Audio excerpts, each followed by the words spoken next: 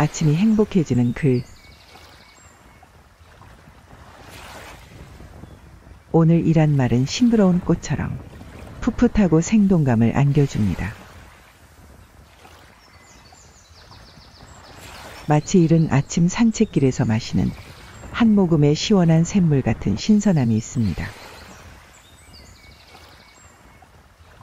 사람들은 누구나 아침에 눈을 뜨면 새로운 오늘을 맞이하고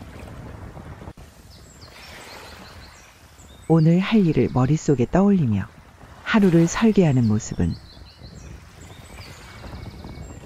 한 송이 꽃보다 더 아름답고 싱그럽습니다.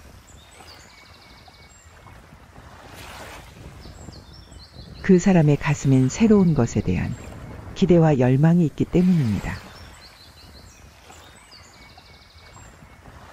반면에 그렇지 않은 사람은 오늘 또한 어제와 같고 내일 또한 오늘과 같은 것으로 여기게 됩니다. 그러나 새로운 것에 대한 미련이나 바람은 어디로 가고 매일매일의 변화가 없습니다. 그런 사람들에게 있어 오늘은 결코 살아있는 시간이 될 수 없습니다. 이미 지나가 버린 과거의 시간처럼 쓸쓸한 여운만 그림자처럼 붙박여 있을 뿐입니다. 오늘은 오늘 그 자체만으로도 아름다운 미래로 가는 길목입니다. 그러므로 오늘이 아무리 고달프고 괴로운 일들로 발목을 잡는다 해도 그 사슬에 매여 결코 주눅이 들어서는 안 됩니다. 사슬에서 벗어나려는 지혜와 용기를 필요로 하니까요.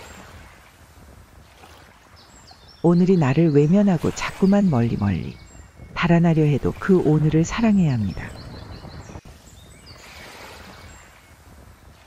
오늘을 사랑하지 않는 사람에게는 밝은 내일이란 그림의 떡과 같고 또 그런 사람에게 오늘이란 시간은 희망의 눈길을 보내지 않습니다. 사무엘 존스는 짧은 인생은 시간에 낭비에 의해서 더욱 짧아진다.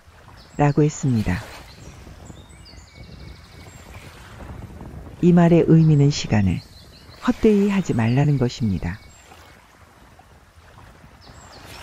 오늘을 늘 새로운 모습으로 바라보고 살라는 것입니다.